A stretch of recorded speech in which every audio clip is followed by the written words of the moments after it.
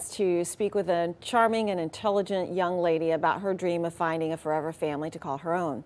Elise currently lives in a group home in foster care with loving group parents. And while that is a warm and positive environment for her, everything pales in comparison to having a family that you know will be there during every part of your life.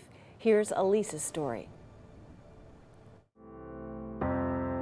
Tell me a little bit about you. I like to try new things, to go outside a lot and talk to people.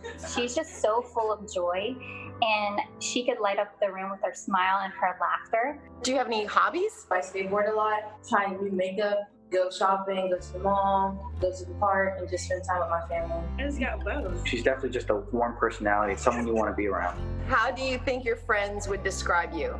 Resilient is one, independent, and then courageous. She values integrity and honesty, and she's just a kind spirit. Throughout my life, I've been through a lot of things, and I've been able to bounce back and then make something of myself and continue like shooting for the stars of my dreams. Speaking of dreams, have you thought about the future? I actually want to go into the army in my future, and then after that, have my degree. Wow. So, what motivated you to, you know, want to be in the army?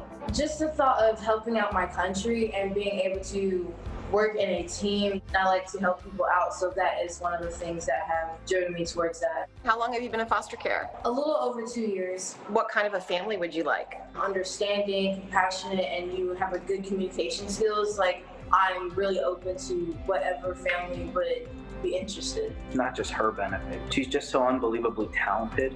Someone would really benefit tremendously from having Elise in their home. I feel like the reason why it's important for an adult to be in a child's life is that's how you learn to love someone. Not just temporary, somebody to love her through every season of life. She is easy to like and love. To learn more, contact Forever Family in partnership with ChildNet, Communities Connected for Kids and Publix by visiting foreverfamily.org.